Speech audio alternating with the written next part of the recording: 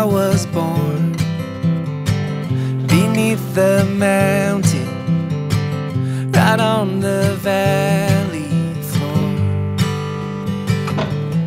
And I followed the sun into the desert because I thought that she was the one, but I've never been.